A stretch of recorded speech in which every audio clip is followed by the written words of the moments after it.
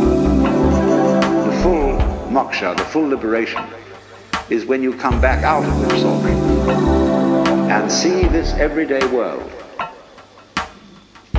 just as it looks now, but see as clearly as clearly can be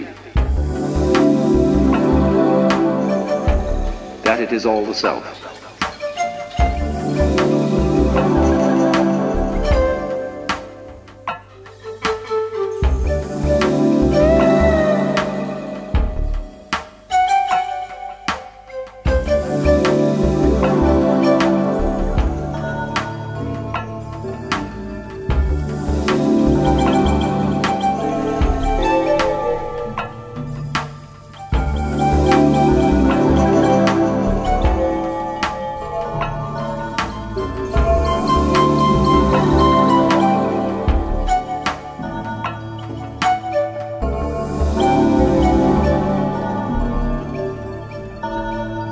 Are you?